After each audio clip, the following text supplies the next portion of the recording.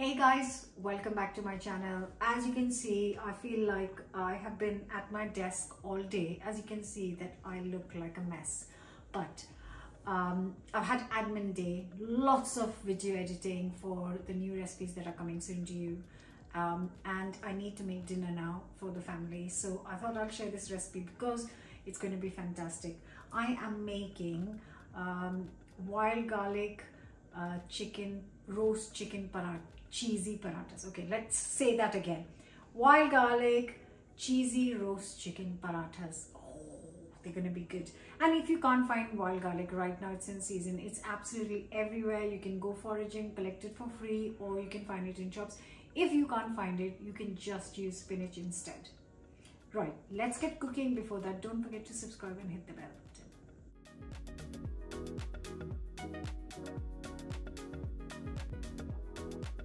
I have still got lots of wild garlic left from my um, woodland walk. So I am going to use um, some of the fresh leaves. I'm just telling you how much. Uh, I would usually just use a handful, but I will definitely let you guys know how much. So I am going to blitz up 150, that's 150 grams. I'm to remove the flowers and then just give this 150 grams of um, uh, wild garlic a quick wash. So in this uh, massive pan, I am just going to get these um, washed up garlic, uh, wild garlic leaves and I am going to put them in here and uh, also add 100 ml of boiling water to this and then cook it for five minutes. So you add your water just to help cook it cover and I'm going to lower the heat and just give this five minutes. Okay so it has been exactly five minutes. Uh, they have wilted down. Uh, what I'm going to do is turn this off leave it to sit for five and then blitz it to a paste. So it hasn't cooked down completely but I I'm running out of time and I really need to cook the dinner. So I am just gonna blitz it up and make it into puree. I'm just gonna, there isn't much liquid left, but whatever it is there, a drop, I will add it and blitz it.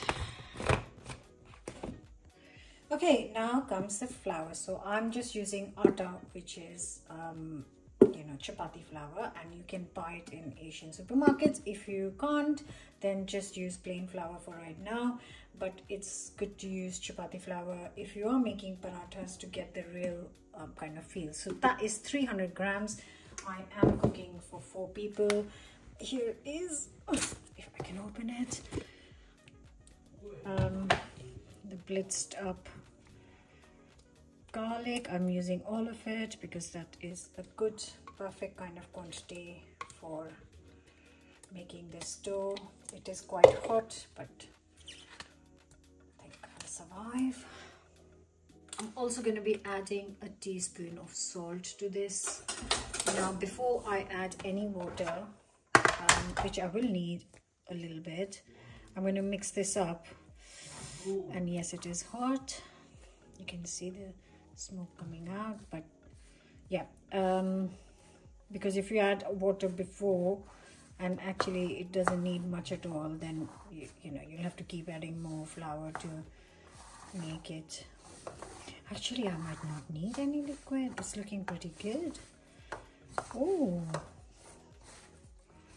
it's gonna have this lovely leafy garlicky flavor plus a nice lovely color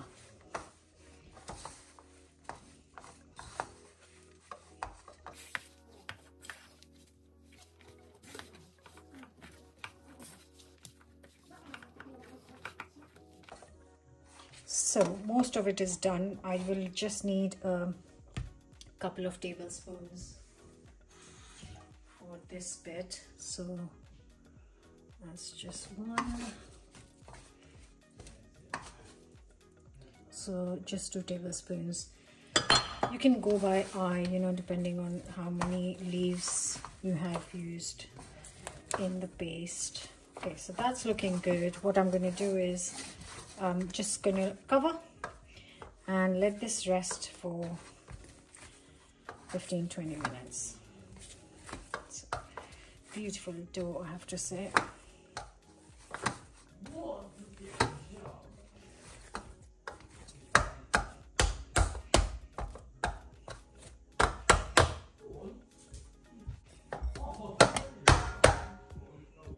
Uh, now in this box I've got some roast chicken which I roasted over the weekend, the first barbecue of the season.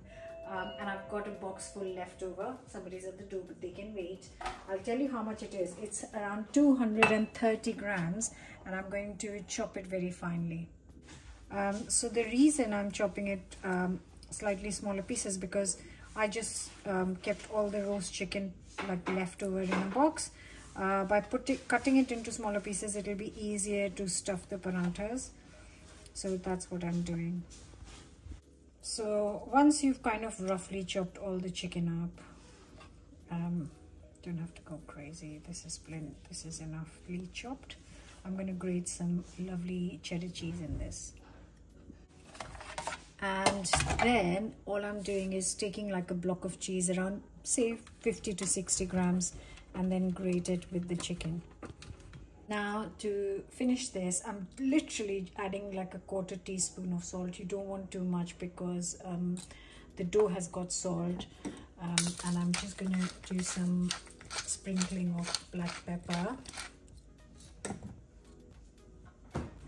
And I've got some like dried um, leftover chopped up coriander in the fridge which I'm going to add and give it a good mix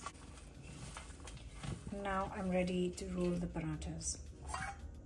Right, uh, my son who's behind the camera has just requested that I add a bit more cheese. So I've just added a 20 grams more cheese.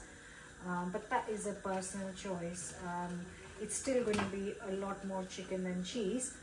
Um, but yeah, so it was around 220 to 30 grams of chicken and around 70 to 80 grams of cheese. And look at that dough, it's nicely rested beautiful, isn't it? Right. So, I'm just going to tell you roughly how many parathas this is going to make. Obviously, the filling should last, but I'm guessing it will make around 8 parathas. Yeah, that's right. Yeah.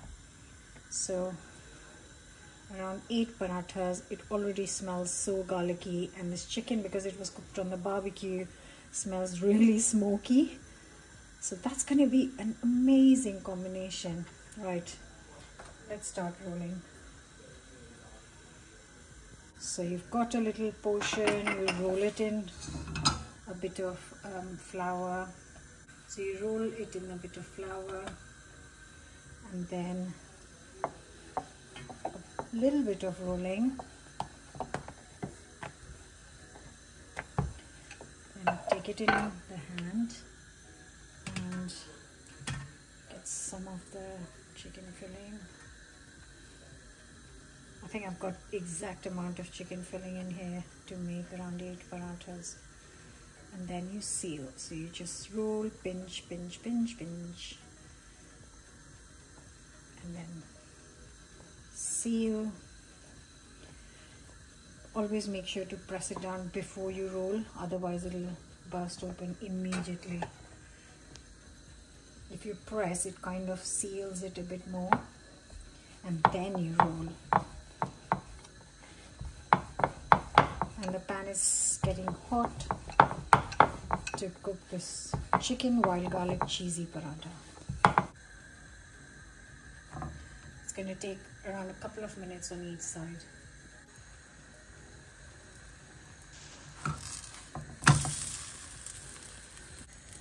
it's had a couple of minutes on each side. I'm just putting a little bit of oil in here. You can cook it with ghee if you like. Um, there are so many flavors. I don't want to cook it with ghee. Okay that's making a little bit of a noise. And one more drop. You don't have to add loads of oil. Just a few drops will be fine and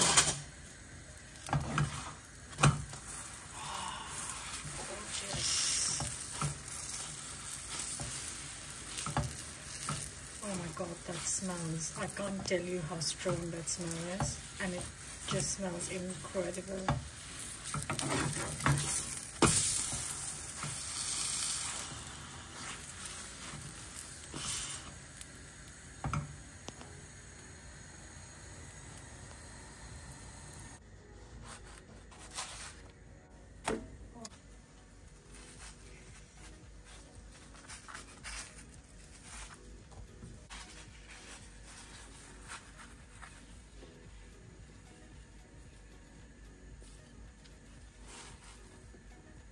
And while the rest of them are cooking I'm just going to quickly taste it because um, Yuv is wanting dinner.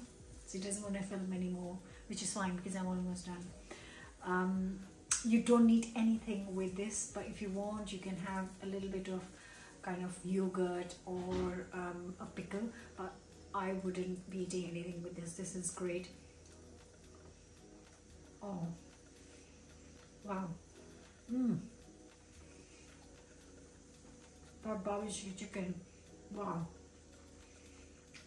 A beautiful wild garlic flavor.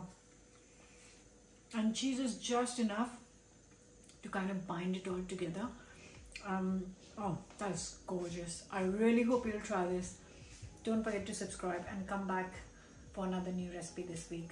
Till then, bye.